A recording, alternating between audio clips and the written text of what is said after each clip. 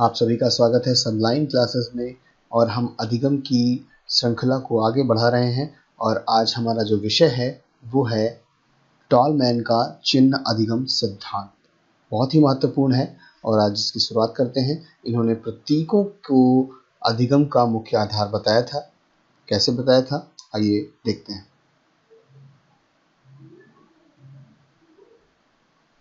Tall man का चिन्ह अधिगम। जी हाँ टॉलमैन द्वारा प्रतिपादित सीखने के सिद्धांत के अनुसार सीखने की क्रिया में उद्देश्य का विशेष महत्व है और उनका विचार है कि प्राणी की सभी क्रियाएँ उद्देश्यपूर्ण या प्रयोजनपूर्ण होती हैं।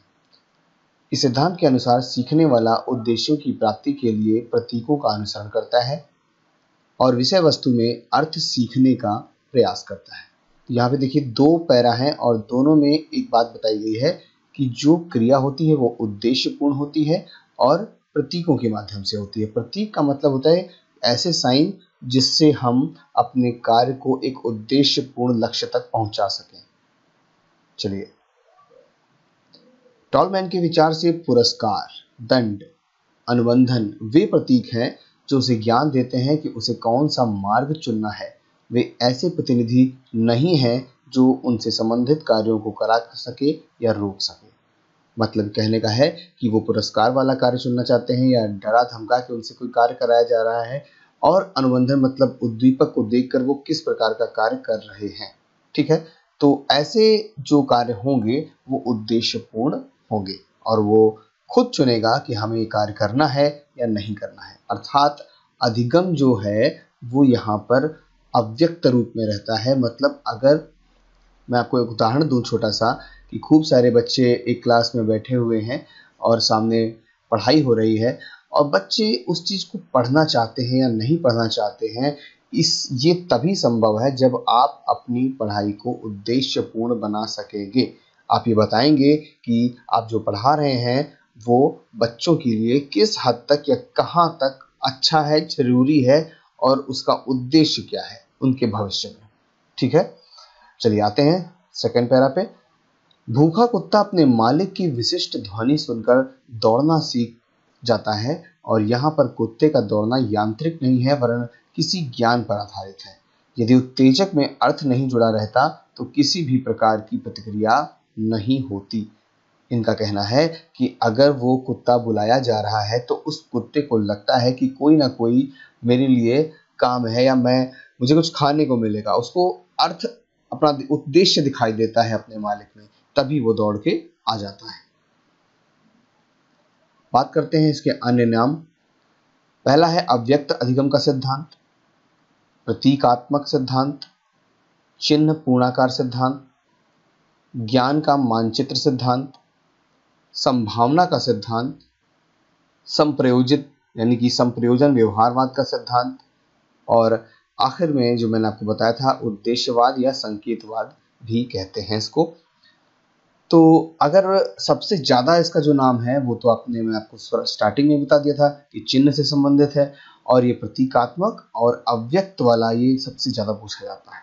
तो मैं बता दूँ, आपको इतना तो पता ही होगा कि अव्यक्त क्या होता है। अव्यक्त मतलब जिसे आप दूसरों को नहीं दिखाना चाहते, अव्यक्त रखना चाहते हैं। मान लीजिए आप कोई पेपर दे रहे हैं एग्ज़ाम दे रहे हैं और वो एग्ज़ाम एक साल में पाँच बार होता है। तो कहीं ना कहीं आपका जो इंटरेस्ट है वो इस एग्ज़ाम से कम होगा। मान लीजिए वीकली एग्ज़ाम में इंटरेस्ट कम आता है और जो हाफ़ ईयरली होते हैं और जो ईयर वाइज होते हैं, उसमें इंटरेस्ट ज़्यादा आता है। क्यों? क्योंकि व्यक्ति अपने अधिगम को उन छोटे वाले एग्ज़ाम में नहीं शो करना चाहता, जबकि बड़े वाले अधिगम में या बड़े वाले एग्ज़ाम में अपने अधिगम को प्रस्तुत करता है। इसीलिए कहीं कहीं पर जब हम अपने अधिगम को व्यक्त नहीं करते तो यहाँ पर अव्यक्त अधिगम आ जाता है। अब टालमैन के प्रयोग की बात करते हैं। चूहों के समूहों पर इन्होंने अपना प्रयोग किया था। चूहों के समूहों को दो भागों में बांटा गया ए ग्रुप और बी ग्रुप तो आइए इसको पिक्चर के माध्यम से समझते हैं। ए ग्रुप के साथ क्या हुआ? ध्यान रखिएगा, यहाँ पे ग्रुप ज़्यादा इंपॉर्टेंट है। ए ग्रुप में क्या हुआ? चूहे को एक मेज में मेज थ्योरी भी कह सकते हैं इसको। और हम इसको कहते हैं भूल भुलैया। एक और इम्पोर्टेंट बात बता दूँ आपको। भूल भुलैया का प्रयोग हल ने भी किया था अपने पुनर्बलन अधिगम सिद्धांत में।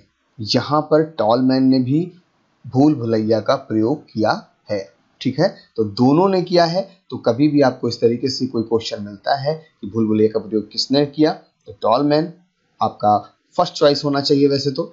लेकिन किया दोनों ने है अगर टॉलमैन नहीं मिलते हैं तो ज़रूर हल का नाम होगा उसमें। चलिए, यहाँ देखते हैं कि ए ग्रुप में क्या हुआ। ए ग्रुप में देखिए मेज़ है और इस मेज़ में एक तरफ़ खाना रखा हुआ है और एक तरफ़ चूहों का समूह है। अब ये चूहों का समूह जब इसको यहाँ से एंट्री मिलती है तो ये जानता है, इसको इसमें ला जाती है कि हाँ मेरे लिए खाना कहीं पर रखा हुआ है।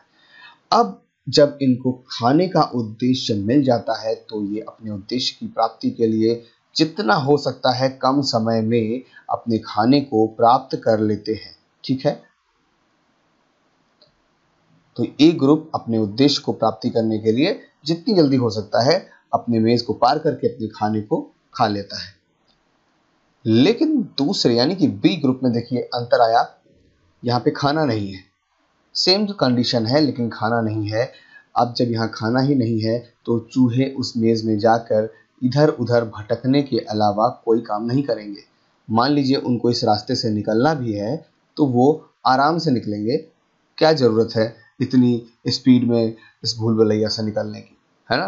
तो अगर जब उद्देश्य ही नहीं है तो वो अपने अधिगम को क्यों व्यक्त करें? तो यहाँ पर अधिगम को व्यक्त नहीं किया जा रहा है, वो अपने अव्यक्त रूप में बढ़ते चले जा रहे हैं। और अगर इसी बी ग्रुप में जो टालमैन ने है, उन्होंने क्या किया? सेकंड या थर्ड स्टेप में, ये तो सेकंड स्टेप है। उन्होंने क्या किया कि बी ग्रुप में फिर से खाना रख दिया। पहले ए ग्रुप में खाना रखा था, फिर बी ग्रुप में खाना रखा। तो चूहों ने एक ऐसा करिश्मा दिखाया कि वो ए से भी जल्दी वहाँ पर पहुँच गए। मतलब जो ए ग्रुप ने समय लगाया था, ए ग्रुप से ए ग्रुप से भी जल्दी पहुँच गए। क्योंकि पहली बार तो उनको भूल भुलैया का मतलब पता चल गया था कि उनको उनको वहाँ से निकलना है। लेकिन जब उनको पता चला उधर स्मेल आ रही है, खाना रखा हुआ है, इसका मतलब इस भूल भुलैया को जितनी जल्दी से पार करेंगे और हमें खाना मिल जाएगा। तो उन्होंने अपने अधिगम यहाँ पर व्यक्त कर दिया और वो अपने खाने तक ए ग्रुप से भी जल्दी पहुँच गए। तो अगर हम प्रयोग की बात करें, क्या हुआ इस प्रयोग में सीखने की क्रिया में प्राणी का व्यवहार उद्देश्यपूर्ण होता है? टॉलमैन का विचार है कि उत्तेजक में उसी समय अर्थ जुड़ता है जब वह किसी की आवश्यकता, यहाँ पे आवश्यकता थी खाने की, आवश्यकता और उद्देश्य की पूर्ति में सहायक होते हैं। प्राणी संज्ञानात्मक योग्यताओं के सहारे संपूर्ण मानसिक परिस्थिति का एक मानसिक मानचित्र बना लेता है, इसीलिए इसको मानसिक मानचित्र का सिद्धांत भी कहते हैं। जिसे संज्ञानात्मक मानचित्र कहते हैं। ठीक है? अपनी योग्यताओं के सहारे एक मानचित्र बना लेता है दिमाग में। अगर कोई आप, कोई चीज़ पढ़ते हैं तो क्या होता है? आप एक मानचित्र दिमाग में बना लेंगे कि इसे हमें पढ़ना है, कैसे पढ़ना है, क्यों पढ़ना है, और इसका उद्देश्य क्या है? ये सारी चीज़ें व्यक्ति अपने मानसिक या मन में सेव कर लेता है, कॉपी कर लेता है। कुछ संप्रत्य हैं इससे संबंधित। इसमें कहा है कि प्राणी सीखने की प्रक्रिया के दौरान उद्दीपकों के बीच परस्पर अर्थयुक्त संबंधों को स्थापित करता सीखता है। एकीकृत बनाम आणविक टोलमैन ने एकीकृत व्यवहार पर ज़्यादा महत्व दिया है और यह उद्देश्यपूर्ण होता है। स्थान बनाम अनुक्रिया। प्राणी निश्चित उद्दीपकों के प्रति निश्चित अनुक्रिया नहीं सीखता, बल्कि लक्ष्य प्राप्त करने के लिए उन स्थानों की खोज करता है जहाँ वस्तुएँ होती हैं। ठीक है? उद्दीपकों से जो निश्चित अनुक्रिया नहीं सीख रहा है यहाँ पर, देखिए, हमने पहले जो पुराने सिद्धांत पढ़े हैं, उसमें उद्दीपकों की अनुक्रिया होती है। लेकिन ये कह रहे हैं, हमें लक्ष्य प्राप्ति के लिए उन स्थानों की खोज की जाती है जहाँ पे वस्तुएँ होती हैं। पुरस्कार प्रत्याशा, अधिगम के, अधिगम में पुरस्कार देने पर व्यवहार दृढ़ हो जाता है।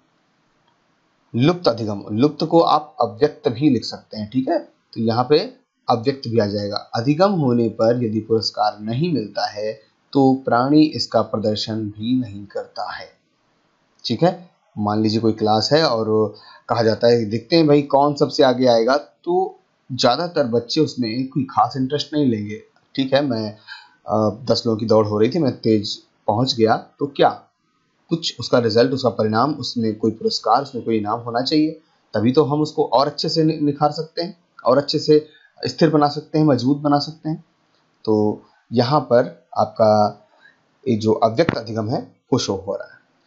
तो इसी के साथ हमारा जो टॉलमैन का अधिगम सिद्धांत है समाप्त होता है और आगे मिलते हैं आपसे नेक्स्ट अधिगम वाले सिद्धांत में।